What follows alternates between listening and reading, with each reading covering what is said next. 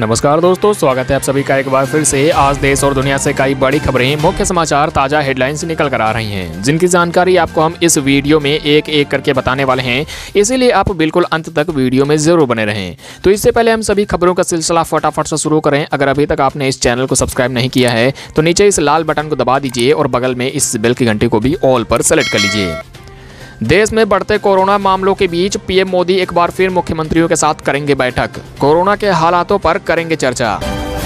वहीं प्रवासी मजदूरों में लॉकडाउन की दहशत, दिल्ली एनसीआर से फिर शुरू हुआ पलायन। और देश में एडिबल ऑयल प्राइसेस को लेकर आई बड़ी खुशखबरी, बीस रुपए तक सस्ता हुआ खाने का तेल। कोरोना वायरस महामारी पर बड़ी खबर। कोरोना केस में 27 फ़ीसदी तक के आई भारी उछाल। देश में 24 घंटों में दो लाख सैतालीस हज़ार से ज़्यादा आए नए केस। वहीं 380 लोगों की भी हुई मौत। पेंशन पाने वाले लोगों के लिए बड़ी खबर। बदल गया है एक और नियम। करोड़ों लोगों को होगा फ़ायदा। अब डिजिटल लाइफ सर्टिफिकेट जमा कराने की अंतिम तारीख में हुई बढ़ोतरी। वहीं खुशखबरी सिर्फ़ छह सौ में खरीदे एलपीजी रसोई गैस सिलेंडर। मार्केट में एक नए प्रकार का कंपोजिट गैस सिलेंडर आया। और इंडियन रेलवे ने लखनऊ केंद्र के लिए निकाली बड़ी भर्ती। दसवीं पास कर सकते हैं अप्लाई, पच्चीस हज़ार रुपए महीने की मिलेगी सैलरी। साथ ही आधार कार्ड पर यू की तरफ़ से दिया गया बड़ा सुविधा। किसी भी बैंक खाते से लिंक है आपका आधार कार्ड। अब एक ही क्लिक में कर पाएँगे पता। और इकोनॉमी को मज़बूत कर रही हैं आईटी कंपनियाँ। इन्फोसिस देगी पचपन हज़ार लोगों को नौकरियाँ। वहीं पीएम किसान योजना में हुआ बड़ा बदलाव। अब करना होगा ये काम। घर बैठे आसानी से ही चेक कर सकते हैं आपके बैंक खाते में किस्त आई है या फिर नहीं। और आम आदमी की जेब पर असर डाल सकता है बजट। महँगे हो सकते हैं स्मार्टफ़ोन सहित कई सामान।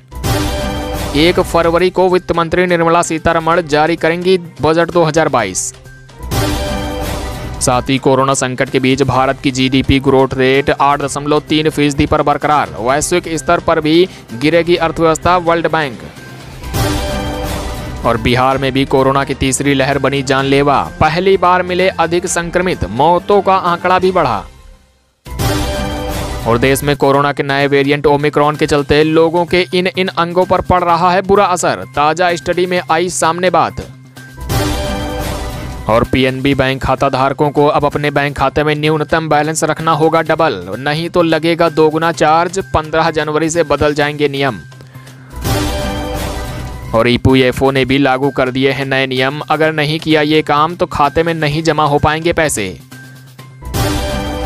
वहीं दिल्ली में भी बढ़ रहे कोरोना महामारी को लेकर डीडीएमए का आदेश। दिल्ली में सभी प्राइवेट ऑफ़िस रहेंगे बंद। रेस्टोरेंट और बार पर भी लागू की गई पाबंदियाँ। मास्क नहीं पहनने वालों के लिए भी नए नियम जारी। पाँच हज़ार रुपए से अधिक का लगेगा जुर्माना। देश के इन 11 जिलों समेत देश के लगभग सभी राज्यों में लागू किया गया नया नियम। और छत्तीसगढ़ सरकार अब लोगों के राशन कार्ड बनाने के लिए सुविधाएँ फिर से करेगी शुरू। पिछले कई दिनों से लंबित राशन कार्ड को जल्द से बनाने के दिए गए निर्देश। और अब कोरोना वैक्सीनेशन का सर्टिफिकेट व्हाट्सएप से भी कर सकते हैं डाउनलोड। इस नंबर पर बस करना होगा मैसेज। वहीं सरकारी कर्मचारियों को मिला नए साल का बड़ा तोहफा। अब इस राज्य सरकार ने बढ़ाई तेईस दशमलव दो नौ फ़ीसदी तक की सैलरी, साथ ही रिटायरमेंट की उम्र में भी की गई बढ़ोतरी, आंध्र प्रदेश सरकार ने लिया फैसला। तो इन्हीं सभी खबरों की जानकारियाँ एक एक करके आपको मिलने वाली हैं, इसीलिए आप वीडियो में बिल्कुल अंत तक ज़रूर बने रहें। आपको बता दें कि सबसे पहली बड़ी खबर, पीएम मोदी। आज मुख्यमंत्रियों के साथ फिर करेंगे बड़ी बैठक, कोरोना के हालातों पर लेंगे चर्चा। जी हाँ बता दें कि देश में कोविड 19 के नए स्वरूप ओमिक्रॉन के कारण संक्रमण के बढ़ते मामलों के मद्देनजर प्रधानमंत्री नरेंद्र मोदी बृहस्पतिवार को सभी राज्यों के मुख्यमंत्रियों के साथ संवाद फिर से करने जा रहे हैं। सरकारी सूत्रों के मुताबिक बुधवार को बताया गया कि प्रधानमंत्री आज बृहस्पतिवार को सभी राज्यों के मुख्यमंत्रियों के साथ साढ़े चार बजे वीडियो कॉन्फ्रेंसिंग के माध्यम से संवाद करेंगे। बता दें आज तेज़ी से बढ़ रहे देश में संक्रमण को देखते हुए देश के प्रधानमंत्री नरेंद्र मोदी जी देश के सभी विभिन्न राज्यों के मुख्यमंत्रियों के साथ चर्चा करने वाले हैं, साथ ही तरह तरह के प्रतिबंध भी। किस प्रकार से लागू किए जाएँ और किस प्रकार से संक्रमण को बढ़ने से रोका जाए, इन सभी चुनौतियों पर चर्चा की जाएगी। वहीं देश में खाने का तेल बीस रुपए तक हुआ सस्ता। तेल के दाम में लोगों को मिली राहत। जी हाँ बता दें एक तरफ़ कोरोना वायरस और दूसरी तरफ़ महँगाई। आम आदमी की मुश्किलें कम होने का नाम ही नहीं ले रही हैं। जहाँ एक और सभी ज़रूरी सामान की कीमतें बढ़ रही हैं तो वहीं दूसरी ओर कोरोना वायरस ने भी लोगों के काम धंधे पर रोक लगा रखी है। आपको बता दें कि साबुन से लेकर डिटर्जेंट तक और पेट्रोल, डीजल से लेकर रसोई गैस तक सब महँगा हो गया है। हालाँकि इसी बीच एक ऐसी खबर आई है जो निश्चित रूप से महँगाई की इस दौर में आपको बड़ी राहत पहुँचाने का काम करेगी। जी हाँ खाने के तेल की कीमतों में, खुदरा कीमतों में काफ़ी गिरावट देखने को मिली है। यानी खाने का तेल पहले के मुकाबले सस्ता हो गया है। आपको बता दें कि पाँच से लेकर बीस रुपए तक सस्ता हुआ है खाद्य तेल। जी हाँ खाद्य तेल के दामों को लेकर केंद्र सरकार ने मंगलवार को कहा कि देश में खाद्य तेलों की खुदरा कीमतें वैश्विक बाज़ार के अनुरूप एक साल पहले की समान अवधि की तुलना में ऊँची हैं, लेकिन अक्टूबर 2021 के बाद इसमें इनमें गिरावट देखी जा रही है। बता दें कि एक रुपए मूल्य संग्रह केंद्रों के आंकड़ों के अनुसार देश भर के प्रमुख बाज़ार में खाद्य तेलों की खुदरा कीमतों में पाँच से लेकर बीस रुपए प्रति किलोग्राम तक की गिरावट आई है, जिसके बाद भारतीय औसत खुदरा मूल्य एक सौ अस्सी रुपए प्रति किलो, सरसों का तेल एक सौ चौरासी रुपए उनसठ पैसे और वहीं सोया का तेल एक सौ अड़तालीस रुपए पचासी पैसे प्रति किलो पर बना हुआ है। वहीं देश में लॉकडाउन लगने के डर से प्रवासी मजदूरों ने फिर से घरों को पलायन करना किया शुरू।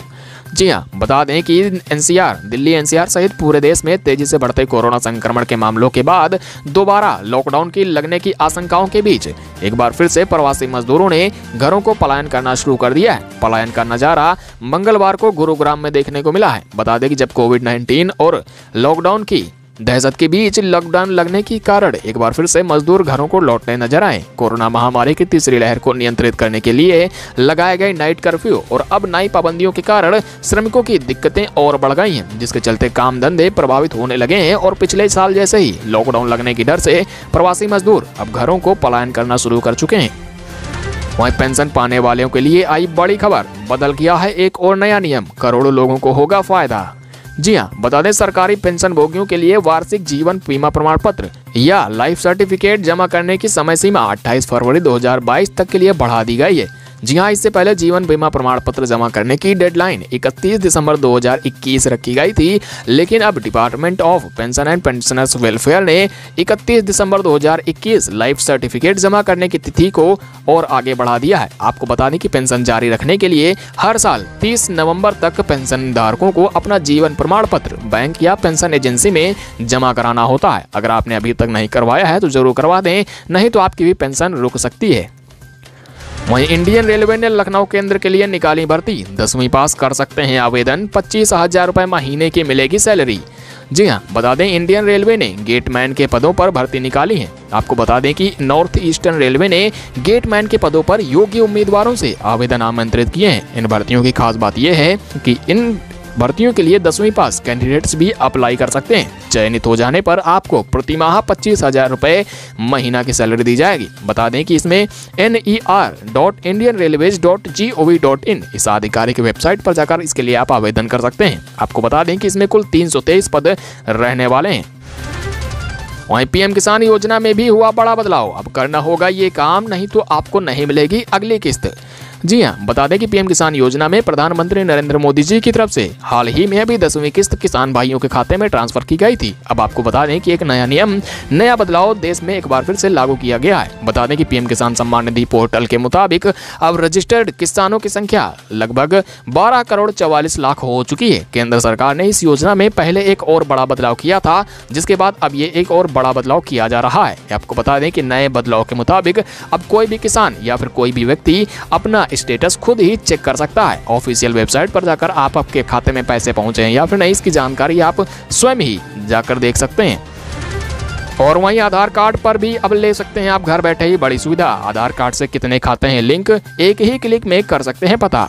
जी हाँ आधार कार्ड भारतीय विशिष्ट पहचान प्राधिकरण यानी UIDAI द्वारा जारी किया जाता है। आपको बता दें कि अब आधार कार्ड सिर्फ़ और सिर्फ़ एक पहचान पत्र ही नहीं बचा है, बल्कि आधार कार्ड से जुड़ी हुई अब कई सरकारी योजनाएँ भी लोगों को मिल रही हैं। इसी बीच UIDAI ने एक नई और सुविधा देने के लिए लोगों के बीच ऐलान कर दिया है। UIDAI के मुताबिक अब आप घर बैठे ही सिर्फ़ और सिर्फ़ एक क्लिक में ही पता कर सकते हैं कि आपके आधार कार्ड से कितने बैंक खाते लिंक हैं। आपको इसे चेक करने के लिए सिर्फ़ और सिर्फ़ UIDAI की ऑफिशियल वेबसाइट वेबसाइट पर जाना होगा।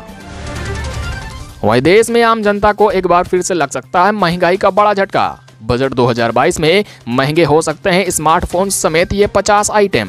जी हाँ बता दें कोरोना महामारी की तीसरी लहर के बीच वित्त मंत्री निर्मला सीतारमण इस साल एक फरवरी को अपना चौथा बजट पेश करने जा रही हैं। आगामी बजट में स्मार्टफ़ोन सहित 50 वस्तुओं के दाम बढ़ सकते हैं। जानकारी के मुताबिक अर्थव्यवस्था को देखते हुए सरकार ये बड़ा कदम उठा सकती है, जहाँ 2022 में पेंशन धारकों को राहत दी गई है, वहीं दूसरी ओर विदेश से आने वाले सामानों पर यहाँ पर इम्पोर्ट ड्यूटी बढ़ाई जा सकती है। बताया जा रहा है कि 10 फ़ीसदी तक बढ़ाई जा सकती है इम्पोर्ट ड्यूटी जिसके चलते स्मार्टफ़ोन समेत lamp wooden furniture handcraft industrial chemicals mobile phone के चार्जर और साथ ही में घरेलू इस्तेमाल किए जाने वाले सामान भी महँगे हो सकते हैं।